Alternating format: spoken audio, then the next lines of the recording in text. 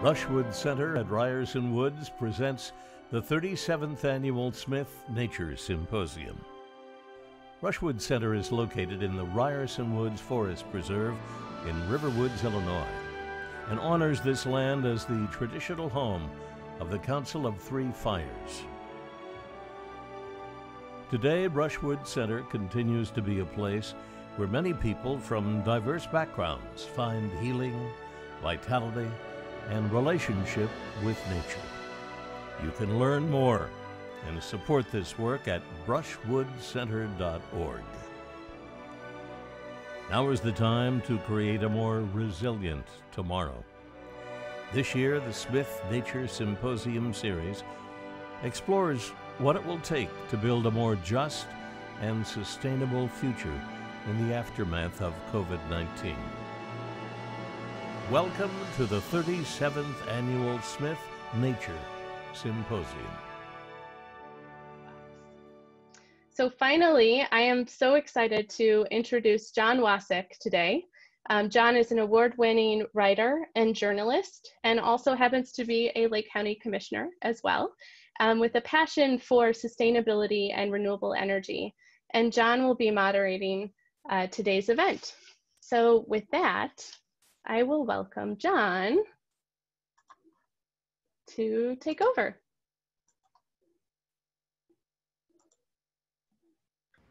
Thank you so much, Catherine. And I think I think it's everybody's dream to be introduced by no less than Bill Kurtis with swelling music.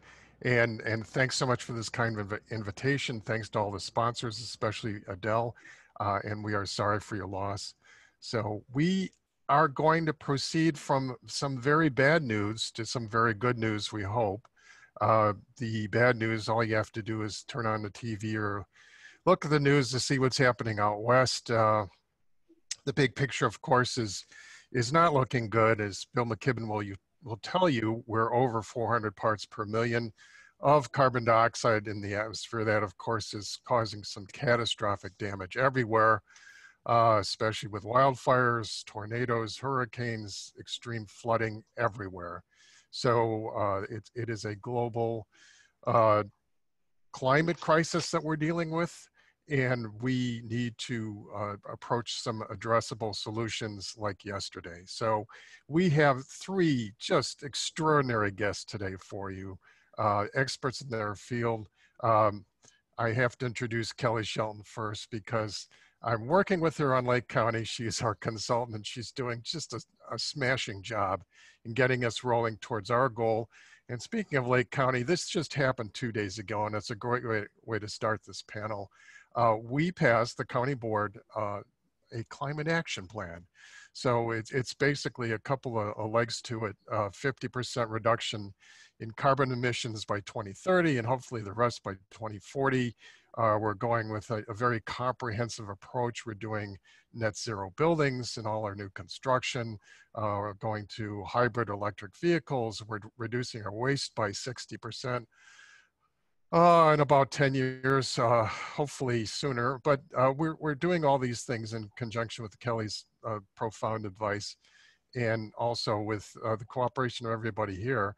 Um, uh, we also have Craig Sieben, who's, who's a, a really fantastic energy expert. He's been doing this a long time, and he's going to offer us some great insights into new technologies, existing technologies, and, and how do we move forward on this. And then there's Jen Walling, who is executive director of the Illinois Environmental Council. There's nobody more uh, out there in terms of uh, pushing towards legislative solutions than Jen. Jen's working so hard to to get us um, to the point where government is is putting in place incentives, programs, ideas to to get us where we need to be. So um, I'm going to introduce them soon, but I, I just want to make one note that, you know, in this current crisis, we are very focused on solutions and, and these panelists are, are going to help tell us how do we get there? We know where we're at, how do we get there, uh, and what can we do? So with that, I'm going to start with Craig. Craig has a few slides that are going to kind of open up your, your mind to some, some new idea, some new ideas, maybe some old ideas, and uh, Craig, take it away. You are muted, Craig.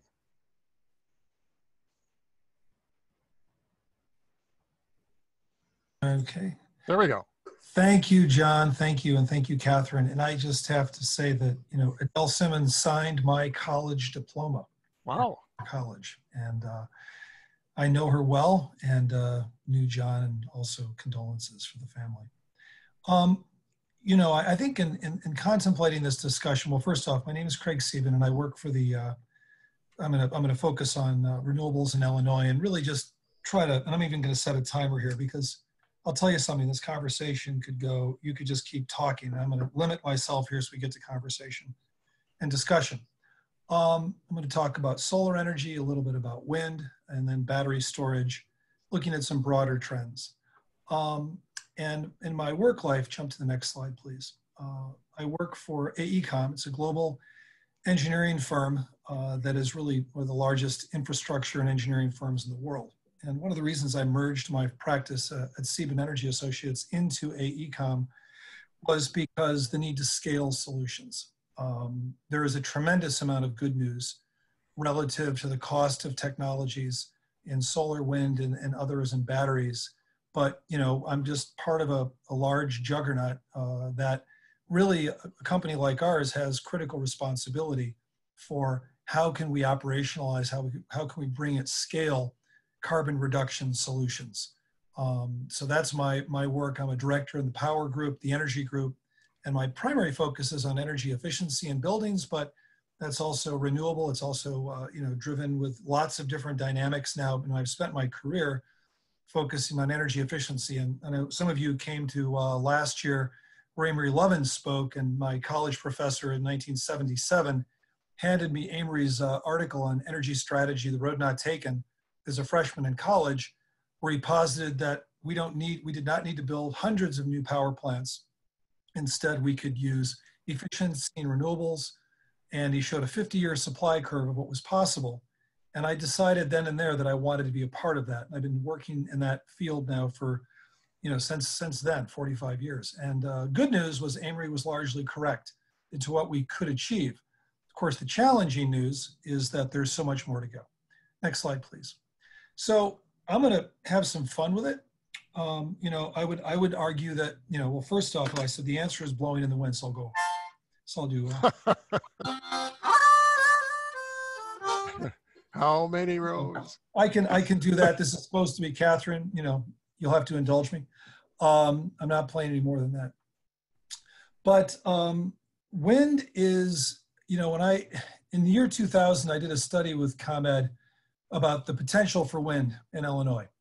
And we concluded that it wasn't great. And I'd ask, the, I'd ask, I wish we could ask a question, why was it not great? But the answer was that we were looking at wind maps that basically had uh, wind at 35 feet off the ground. Uh, as we know, there's these behemoths. We didn't think to go up high enough to uh, evaluate, and it was not a, it was not a big, a big study. It was more of a, of a, of a, of a resource study. But the, uh, the amount of wind that's happened in Illinois is simply stunning in the last 20 years. These are wind maps is just a quick, you know, the wind farms are all over the state. Those uh, little cogwheels are the manufacturing facilities. And uh, I'll just give you a few statistics about wind. I mean, we're now sixth in the nation, uh, the rank sixth in the nation. We've got over 5,000 megawatts, and there's about 60,000 megawatts, or 60, between 60 and 70,000 installed megawatts of power capacity in the state of Illinois. It's about 7% of the total now. Um, its technical potential is about five times the total installed capacity, over 160,000 megawatts, over 5,000 megawatts of offshore wind if we jumped into the lake. Um, but, you know, we are, you know, we've got over 3,000 turbines in the state. I, I personally drove to Montana a couple of weeks ago and back. It's stunning the amount of wind energy in the country and there is so much under development and there is a tremendous momentum going in that whole arena. So, you know, from the standpoint of wind, um, you know, it, it, powers at this point about 1.3 million homes in the state of Illinois, or it can. Um, and we've just got, you know, there's been, a, and we have a renewable portfolio standard, you know, in the state, which requires the utilities and the retail electric suppliers to generate about 25% of their electricity sales uh, from renewables by 2025 and wind is a part of that. So um, by having new wind, um, you know, and then also the combination of solar. Uh, next slide, next slide, please. Um, that wind has been a, a big dynamic. Now, obviously, you're not putting wind power in your home. Now, solar, um, you know, the future is so bright. I'm going to wear shades in this regard. So now I'll take off my shades. Jennifer, are you looking? Come on, Jennifer. I need a smile from you. There we go. Okay. Hi, Shelly. I didn't tell you I was doing that. So when when we look at solar and we think about the possibilities, the um, you know it basically the big the big picture is there's never been a better time to invest in solar. Uh, the solar prices have dropped like a rock over the last 10 years. They've gone down by nine times. Um, you know, Tesla has gotten into this, you know, at a buck 50 per watt. Uh, you know, the, uh, the improvements that the Chinese have made in the multi-crystal crystalline silicon modules have been extraordinary.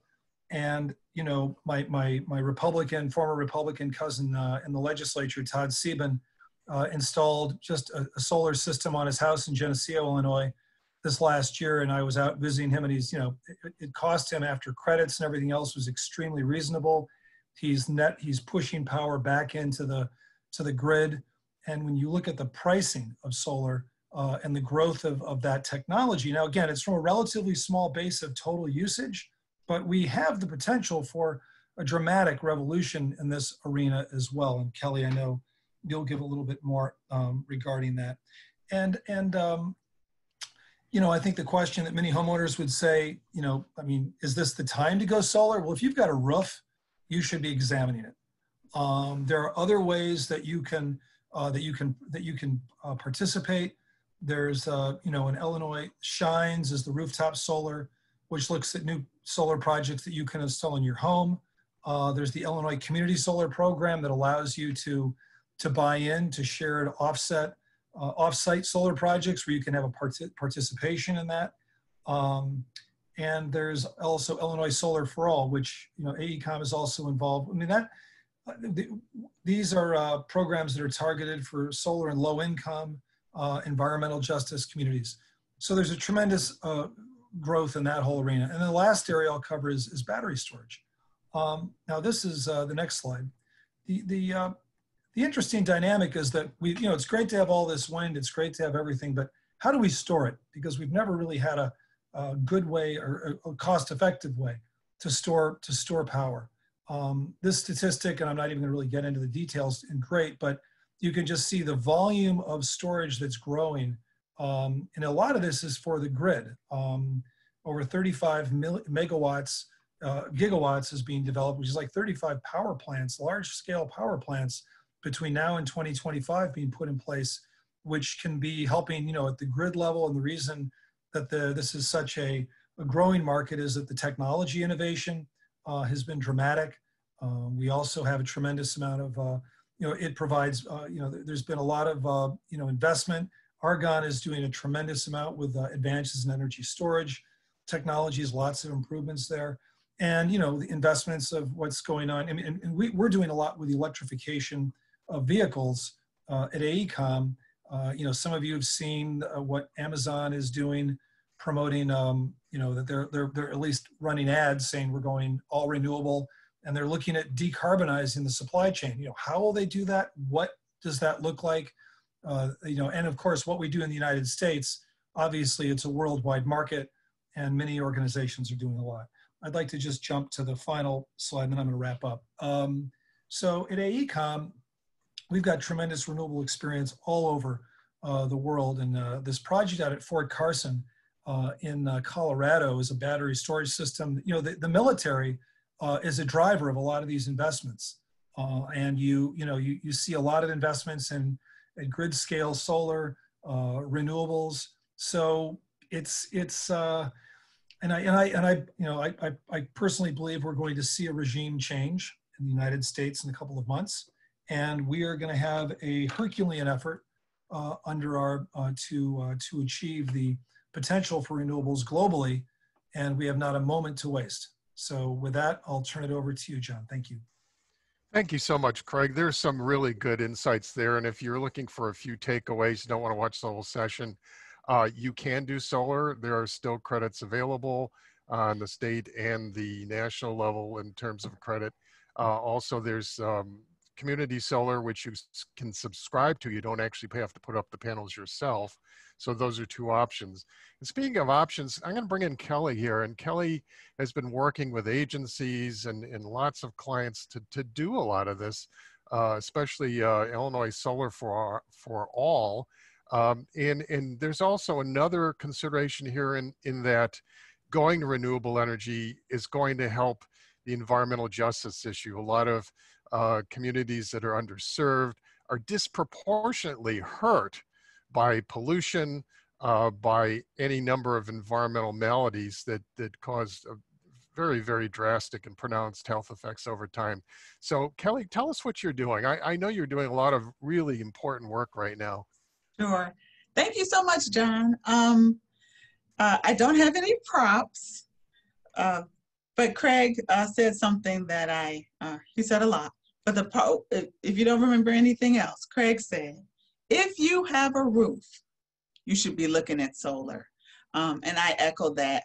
I echo that sentiment. I just want to talk just a little bit about a couple of things um, in the time that we have. I'm always excited when I get to talk about the intersection of renewable energy and diversity, or EDI, equity, diversity, and inclusion.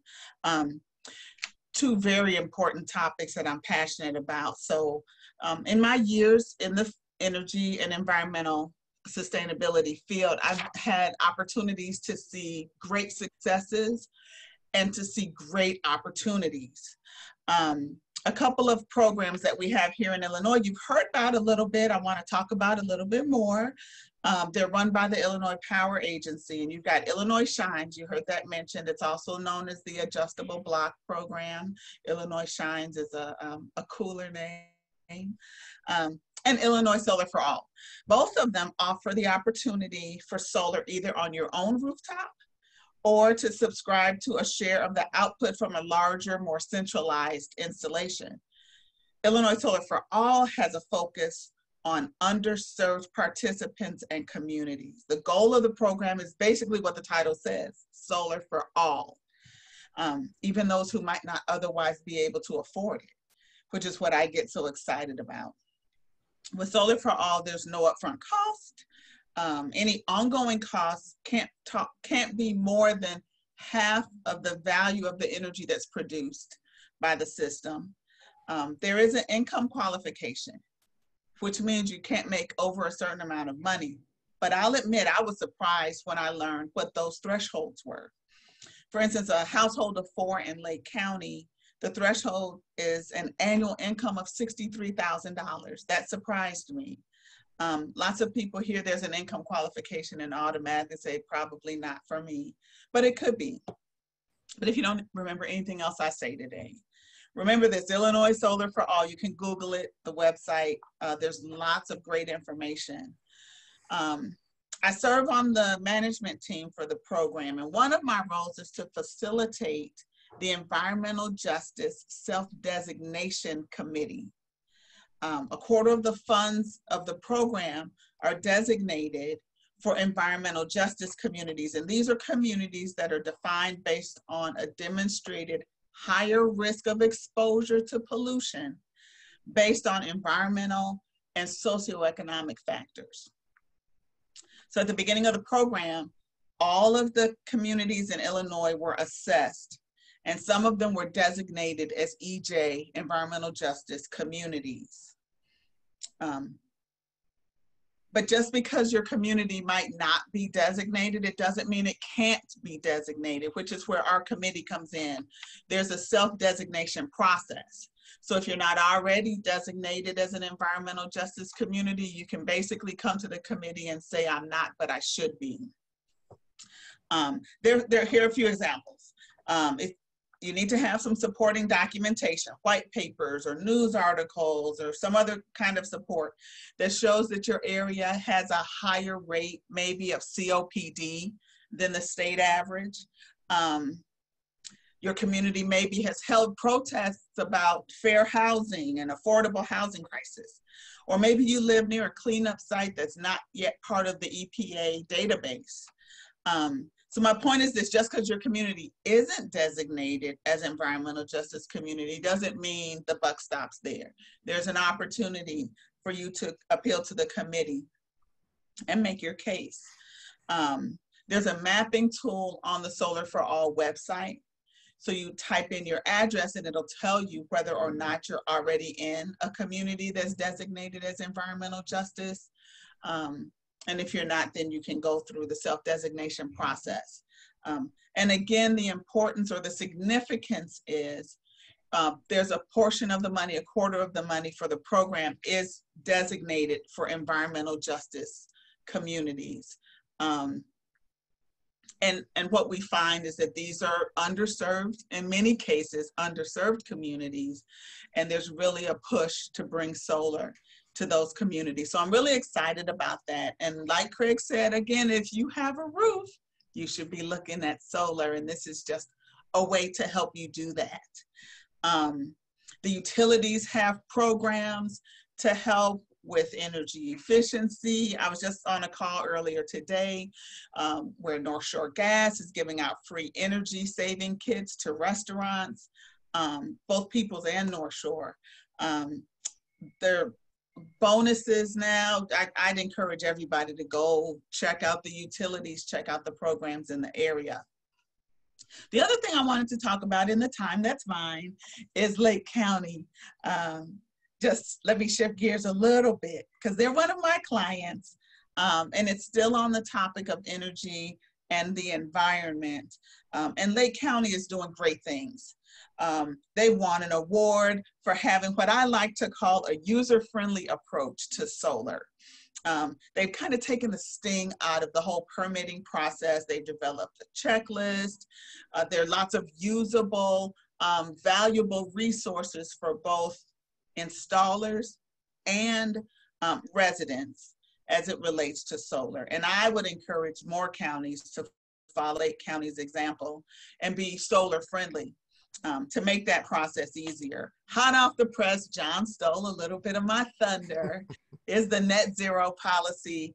Um, I'm grinning. I've been grinning since we got close to getting it done. Um, aiming for net zero carbon emissions.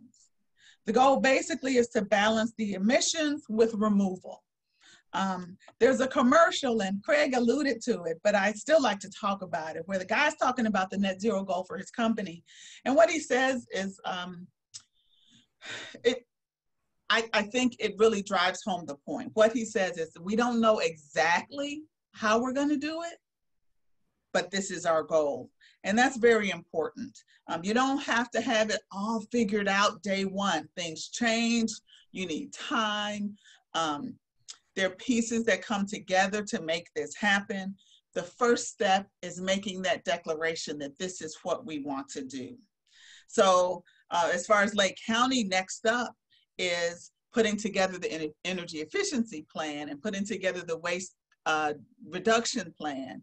Um, but the cool thing is Lake County is on the way. They have made that statement, they have made the commitment, and now we're moving forward to make it happen. So between Solar for All and Lake County taking big steps, I'm feeling really good about the direction in which we're heading. That's what I wanted to share with you today. I'm really excited about more conversation. I'm going to turn it back over to John. I think we're headed to Jennifer next. Thanks so much. Thanks so much, Kelly. And, and I have to give Kelly a lot of credit. She had to step in. We had a huge hiatus uh, due to the COVID crisis, and we weren't working uh, as much as we'd like to in the Energy Environment Committee, but we're going to get to know Kelly very well, and it's a good thing. And we're going to make a lot of uh, get into the weeds on all the details we need to do. Yep. Uh, which brings us to Jen. Jen is is already in the trenches, and she's been doing so much work. But Jen, first, before we talk about uh, the Clean Energy Jobs Act, which we all love, uh, please tell us a little bit more about how many groups you represent. I kind of lost count, but it's, it's a it's a very broad coalition, and and you're uh, it's kind of a miracle to me because whenever you get like three different environmentalists in the, in a room they just it's tough to get them to agree in any one direction but they eventually do and you're doing it. So tell us a little bit about IEC and, and, and what you're doing Absolutely. Thank you so much. And I really enjoyed Craig and Kelly's presentation. Kelly is on our board of directors and she's amazing. Um, and Craig, that's such great information and props. I do not have props. Um, I, uh, as I said, um, run the um, Illinois Environmental Council. I've been the executive director for almost 10 years now. Um, so it feels like I'm brand new, but 10 years. Um, and in that time, uh, we have grown. We have over 100 different affiliated organizations. any group can join and become our member. And we're kind of like a trade association for environmental groups that are within Illinois. So making it a lot more efficient for groups to engage in lobbying and advocacy. Um, and we work on way more than just clean energy. I know land conservation is super important to um, Lake County as well. You can see in Kelly's background, the state park map that we were just promoting, getting people outside during this pandemic and visiting and supporting our natural areas like state parks or um, your facility too. So um, want to really briefly go into what's going on with policy. And I think, I don't have a prop, but I did see a funny tweet this morning. I guess it's not funny, but when you think about um, what's going on right now, like in the West, the sky is literally a different color. So I don't understand how people can still say we shouldn't be doing this or we can't afford it um, or uh, it, it's not the right policy. Like the sky color changed. We, we need to do something. We have an urgent need to do something and we need to act on this um, before we see, uh, I don't know what else is next. But um, I'm going to present a little bit on the Clean Energy Jobs Act and the, the policies that we've done in the past. And you know, these policies, they do make a difference. Working with whether it's your state government or local government, I mean, um, big corporations have known that working with government has been effective for all time. That's why they spend a lot of money lobbying and a lot of money doing this. And there are so many ways that the fossil fuel industry is propped up um, in Illinois, whether it's through the capacity auction system um, or through direct subsidies. Uh, and we need uh, we need to to move past that and the pollution from the fossil fuel system. So if you want to go to the next slide, um, you know, one of in 2016, one of our bright spots, a month after the current president's election, we passed the Future Energy Jobs Act, which included all of these programs that we've talked about today Illinois Shines, the Community Solar Program, Illinois Solar for All. Um, all of those came out of the Future Energy Jobs Act, um, which we're looking at 12 to 15 billion dollars in new private investment. Go to the next slide. 70% um, of that was from solar and energy efficiency. Uh, and the where we'd like where that will go is powering over a million homes by next year with solar and wind energy even faster than we thought um, bringing illinois solar for all to disadvantaged communities and it had a ton of things on energy efficiency if you go to the next slide here um, i have some numbers on jobs and um, these are from 2018 we're, we're a little higher in 2019 i do have to say unfortunately the job losses from the pandemic have been expected to be 30 to 40,000 people in Illinois in the clean energy sector alone. Um, it is hitting hard, um, accompanied with the solar jobs cliff from, uh, from the policy that's out there. Um, but over 100,000 clean energy jobs in Illinois. And one of the things that people don't expect, I know we're talking about renewables today, um, but 70% of those jobs are in the energy efficiency sector. Um, it's a quiet giant of renewable energy um, and it's jobs that you can't move anywhere else. Um, we've been so proud of the way that the different industries have adapted to be safe during the pandemic, um, whether it's virtual energy efficiency tours or all of the things that you can do with solar without going anybody's home. And just to reiterate, if you have a roof, you should be looking at solar right now. It's copying what Craig and Kelly said. You got it's it's the time. It is time for you to do it. Um, and so uh, other portions of this program, we included training programs that um, have done a great job of enrolling and finding jobs for participants, um, really looking at uh, participation from people of color and low income communities, really looking at people who are returning citizens and foster care alumni, Um, and so uh, that programming has been really important. Um, and to build on those, if you go to the next slide, um, we have been working on the Clean Energy Jobs Act, um, which we have four pillars, 100% renewable energy by 2050, a carbon-free electric sector by 2030, an increase in electrification of the transportation sector, all centered around jobs and investments in communities across the state with a huge focus on equity. And this bill um, has had, uh, we've had amendments coming out, but lots of iterations. And this is a bill that um, will solidify our clean energy future and the policy of the entire state of where we want to go. It's extremely detailed. Um, and we look at new programs for um, getting people uh, jobs and job training. Um, you know, one of the things we learned from the job training program is that uh, wraparound services are really important. So making sure that people have the ability to um, get to the job site, the equipment they need, um, all of those type of items, even childcare if they need it, just to make sure that people can be successful and that we're removing barriers to employment. And that this program, uh, we anticipate that in some of these, increasing Illinois Solar for All, um, and obviously uh, just huge increases in renewable energy. A look at closing all of the coal and natural gas plants by 2030. That's actually something um, the Biden plan puts forward as a carbon-free power sector by 2035. Um, so like these things are coming and we want to be first in Illinois. Um, and I, I think it's really important not from a, not just from a renewable energy perspective, um, but also from a perspective of econ economy and economic development. I think I have one more slide, but I will say, you know, during, if you want to go to, oh, I don't. Um, but if you look at during the pandemic, um, you would think, you know, maybe this is spending money, et cetera. But I think that and people would be really concerned with all of the economic downturn, but um, people are more excited about doing this than ever before. We just did a recent poll where 82% of Illinoisans said that they supported the Clean Energy Jobs Act. That's up from 68% uh, supported the Future Energy Jobs Act um, just five years ago. So huge amounts of support and um, people want the jobs and economic development that this will bring. And they're looking at what we're going through right now and how we're horribly handling the, the crisis that's going on. And if we can't handle this crisis, how are we going to handle all of the things that the climate crisis is bringing to Illinois and to all communities in the state? Um, so this is the solution that, that we put forward that um, has so many benefits for the state and um, you know, contact your lawmaker about it. We're trying to aim for getting it done during veto session or early 2021 because uh, this is more urgent than ever. So thanks uh, for having me on. I'm happy to take any questions. Thank you, Jen. And I, I just want to note that Jen's right on here. I mean, this this is beyond crisis mode. We're now into the asking the question, what kind of spiritual legacy do we want to leave for future generations? And we got to do it now. We should have done it yesterday. We should have done it 20 years ago. But now is our opportunity. And there's there's certainly many opportunities I see here just based on what our, our esteemed panelists are telling us, so many opportunities.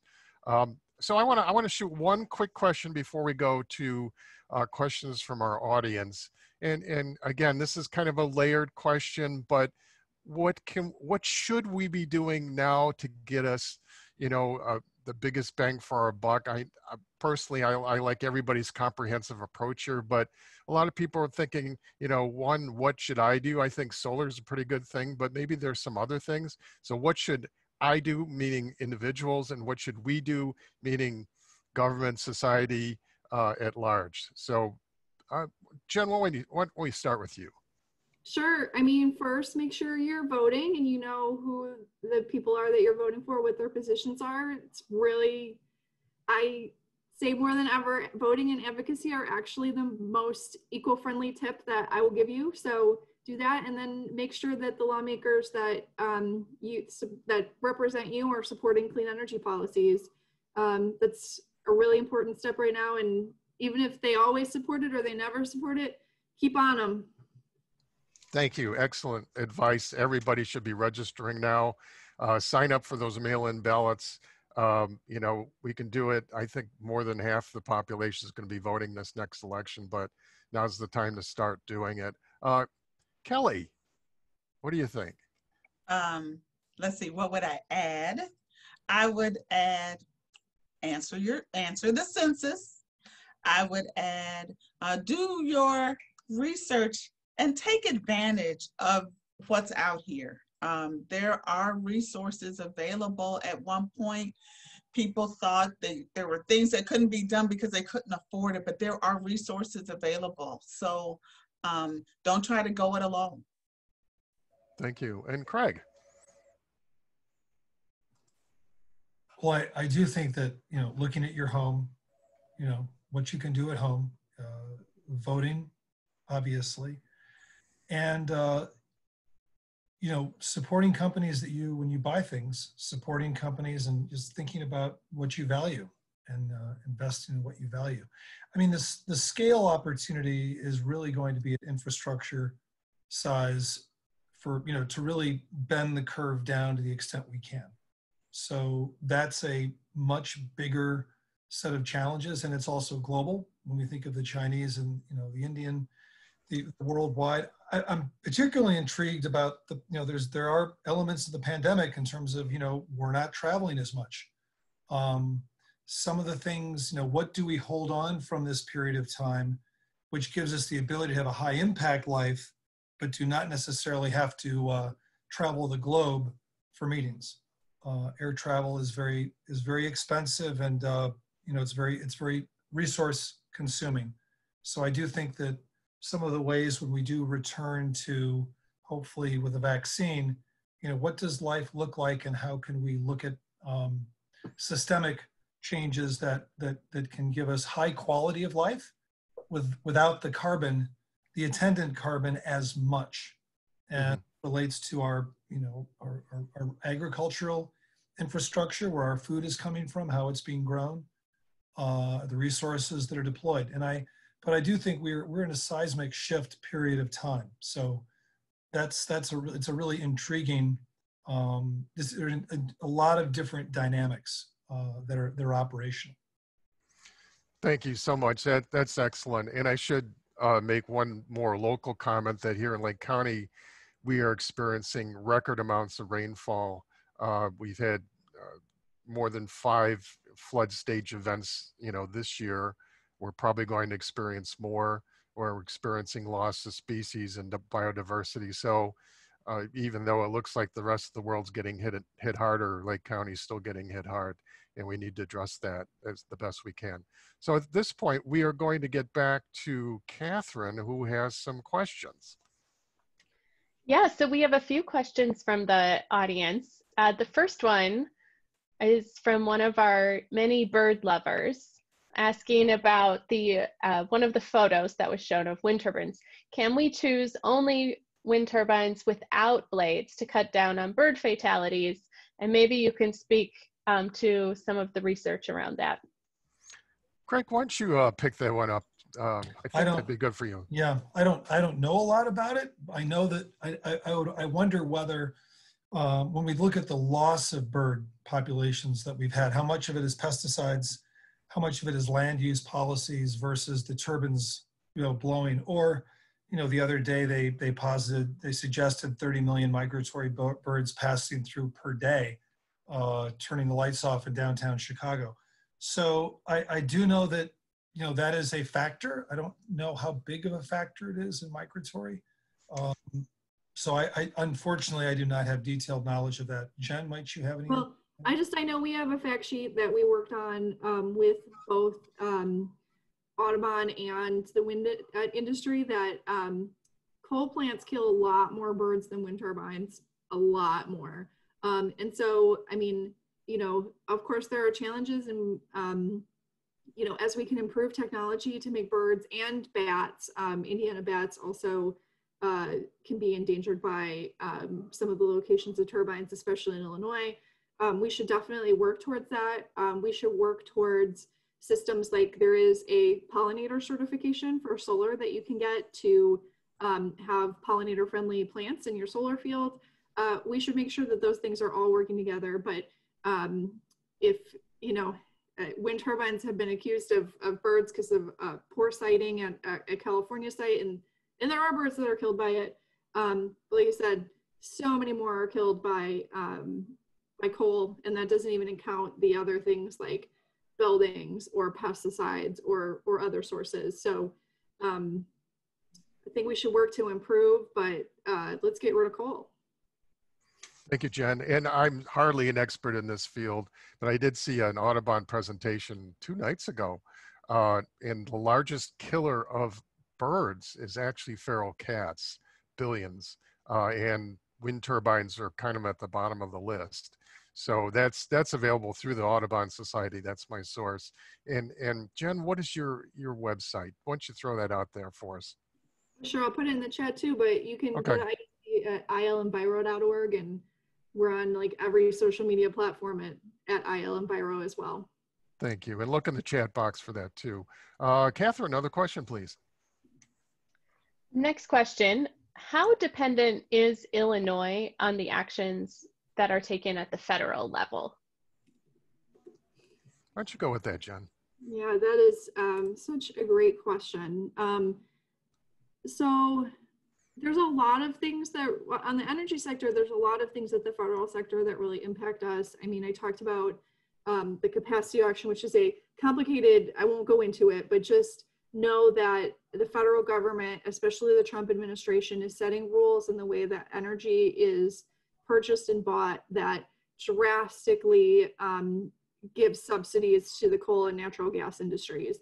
And, you know, that has a strong impact on Illinois. Like the Waukegan coal plant in Lake County is only open. The only reason it's open is because of these capacity markets and the federal policy. Otherwise, it would be closed. Um, there's no justification to have it. There's there's no need. Um, and so uh, I think that's something important to think about. But um, you know, when it comes to other laws, like all of these environmental rollbacks that are happening at the federal level, um, you know, there's ways that we can continue in in how we're we're enforcing the law anyway.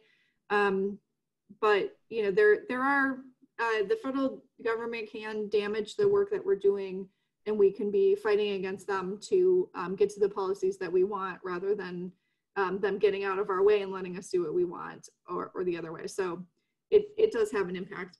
Yes, uh, Kelly or Craig, you want to take a stab at that, or pass? That's okay if you do.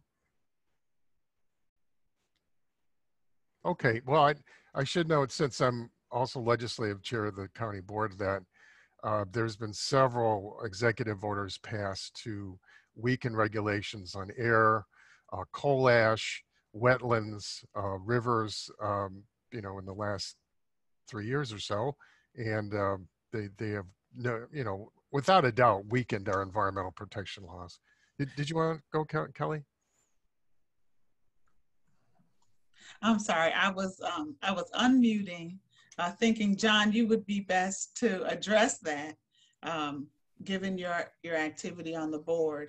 Uh, but I, I, would certainly echo the sentiment that, um, to the extent that Illinois can stand strong, uh, regardless of many of the policies that might seek to weaken some of the environmental protections.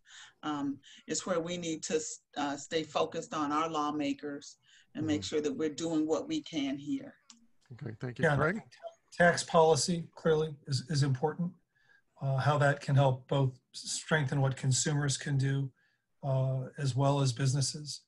Um, and you know, federal federal legislation affects certain areas. The, the, electric utility industry is largely, well, not as, as you suggested with the capacity markets, but what's been interesting about Illinois is that electricity, at least for, at the retail level, was about, and I'll get into the detail, you know, it was like eight cents a kilowatt hour when I started my career here in the mid 1980s. And it's essentially the same. We were one of the highest cost states.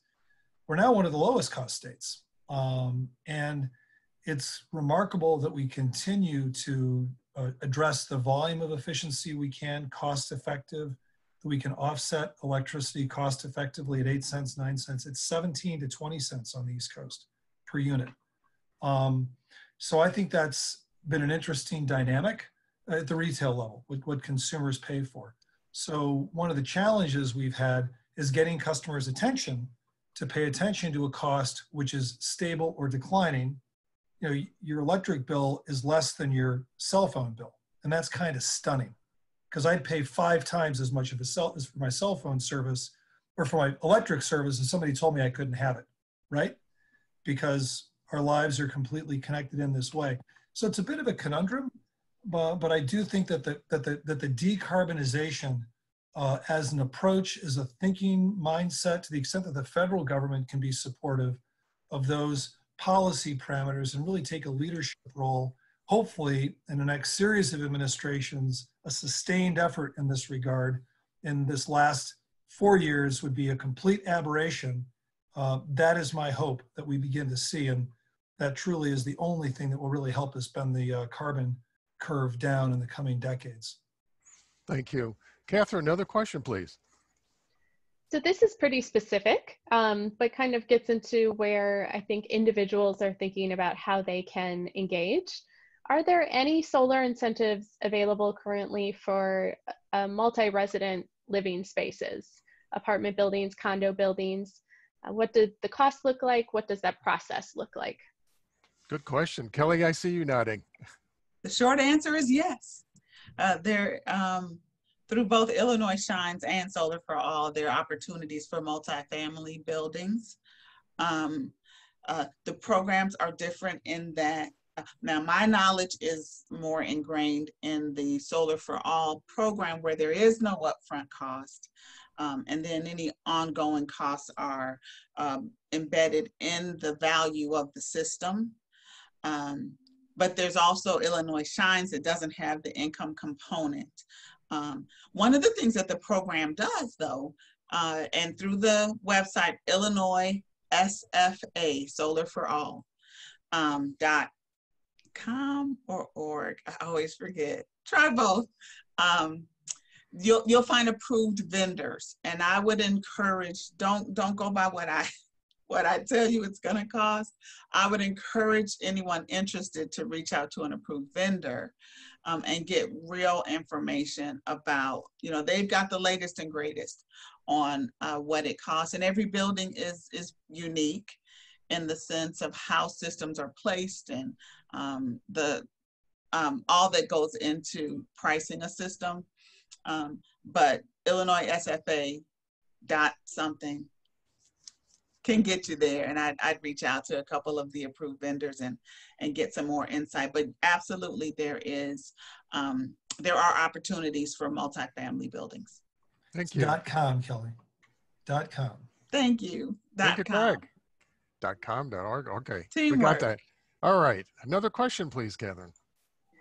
So this is a great question. This is uh, directed to Craig. Do you have any information on the engineering of air conditioners and how that's potentially changing in the future? As the climate warms and more people get access to electricity, can air conditioning become more efficient so that the power grid doesn't crash during extreme heat events? Well, a lot of that has to do with just a house being well sealed, um, using, uh, you know, and I, and I think the air conditioning uh, units are a lot more efficient than they ever than they ever than they were. The Energy Star rating system has helped really drive them up. Uh, the utility, the, the, a lot of times the utilities have the incentives, and the reason that they, for those of you who may not know, why the utilities are in the business of energy efficiency, well, it actually costs less uh, if you think of efficiency as a resource, if you take 10 buildings or 10 homes and you were to cut the usage at 10 homes by 10%, you're enabling by that 10 homes saving 10%, you're producing the energy that you can put into a new home. And it costs a lot less, about half the cost, to incentivize customers to use less energy than it does to build a new power plant. Uh, so some of that's technology, putting a new refrigerator uh, putting a solar system on. Other is just simply thinking of the house being more efficient, uh, cutting leaks, uh, and and doing things more efficiently. The other is, you know, cooling that which you need um, versus the, the whole enchilada. Uh, you know, being smart, you know, with with with good thermostats and all that. The uh, the technologies for the air conditioning have gotten better and better. But you know, if we hadn't had air conditioning uh, as it was developed for uh, and like ice and everything else, you never would have uh, you know people skating in uh, Florida in the in the summertime for professional hockey or any number of people even living in southern climates. So I think if the, if we can supply the power through renewables, then that's a, a big game changer there versus relying on the fossil fuels. Kelly, would you add anything else to my musings on this one? Uh, I was looking for my mute button. Um, I I echo. Uh, I always um, encourage use as little as you can, and then figure out how to get assistance with the rest. So um, I I always point to the utility programs. I am not aware of any drastic um, changes in the technology for air Mhm. conditioning. You know, years back we had the change in the refrigerant. Um, I'm not aware of any of that on the horizon, um, near term anyway, as far as the technology itself. But I do know that um, from an energy efficiency standpoint, uh, looking for the most efficient units is always the way to go. Craig already mentioned the Energy Star label. Um, and then uh, the, the other clue that I would uh, direct you to are the utility programs. Staying on top of, when, when you look at something that the utility is encouraging, it's because there are new advances many times in that technology. Uh, so I would, uh, I'd look that, in that direction for clues about what, um, what's new, what's latest, what's greatest, and what's coming. Did you want to add something, Jen? You are muted. Um, you so I'm uh I'll put this in the chat, but like I actually like just had to buy a fridge. Um and I discovered like how difficult going through the appliance like Energy Star has so much, Consumer Reports has some stuff. Um and just the same with with AC. Uh ComEd actually has an excellent appliance site where you can compare appliances to one another um, and then choose different places to buy it. Like uh, you know, whatever I have to say about ComEd, like I'm actually I'm sure that was probably one of our affiliates that put to that together for them. So um, yay, Enviro nonprofits. But I will put it in the chat and it is excellent. Thank you. And I just want to note, here's another takeaway. So look for Energy Star appliances uh, wherever you shop for appliances. And also keep in mind that, you know, the utility companies, as Jen said, are really good sources for rebates, uh, you know, comparing models. Uh, we recently went with a tankless water heater and it's, it's 90 plus, you know, efficient and there's no tank to heat all the time. Our, not only did our gas go, gas bill down, went down a lot, uh, 20, 30%, but uh, there's a lot less carbon dioxide going in the atmosphere. So that's always good to know. I think we have time for one more question, Catherine. Okay, we are going to um, take it out on a big one. All right. How how, uh, how do you think zero waste strategies are how relevant are they in relation to climate action plans and energy related efforts? Ooh, that's a tough one. Jen, why don't you start off? Yeah, this is my favorite topic. I mean, I I think I started a lot of um a lot of what uh my role I started a lot with recycling education when I grew up in DuPage County. Um and you know, I would say like doing the things that we're doing is really important just the steps that you take at home um, whether it's recycling or energy efficiency etc um, they they are meaningful and it does lead to um, you know some behavior change and thinking about what you're doing i think um, but if you look at where carbon pollution is being produced um, I'm gonna I'm gonna get this wrong, but Sunrise Movement always brings this up. Like something like 70% of carbon emissions are from big corporations, and you know those are the companies creating all of these different products. Um, I've been struggling around a lot of the recycling and waste issues lately with you know China not accepting um, all of the different types of contaminated plastics. Uh, just the way that those different markets are going. And city of Chicago has a seven percent recycling rate. I know that Lake County, um, you are all awesome, and you have a lot of composting things and recycling, and um, I think it's almost a forty percent rate. But I do sometimes wonder if um, you know these recycling systems are just making us feel less guilty about all the stuff that we're buying um, and whether that uh, you know that actually should be the focus of what we're doing and i'm i'm going through sort of, sort of an existential crisis of reevaluating the work that we're doing um, to think a little bit more about um, consumerism, um, the way that uh, it impacts labor and wages, but also the way it impacts communities. Um, there, you know, if you look at it, there's a lot of environmental justice communities that are negatively impacted by recycling facilities that we don't think about because it went away, but they're dealing with the metal shredders, they're dealing with the plastic recycling, the transfer stations um, that we just dutifully, you know, put into our recycling bin and it goes away and we don't see it. So lots of challenges in that system as well. And um, I do think like the overall production and consumerism and, and the search for zero waste is a really important one. Um, and I want to tackle it by making companies do the right thing through policy. Thank you. Craig Granfanelli. You know, I, I, I think it's it's intriguing on a, on a like you know with land use. I mean, I I have a you know when you compost, you throw away very little, and when you think about plastic and what you buy and how we package, um, you know, I, I think about Amazon and how much packaging seems to be you know put together. It's extraordinary the volume of packaging, the plastics in the the world.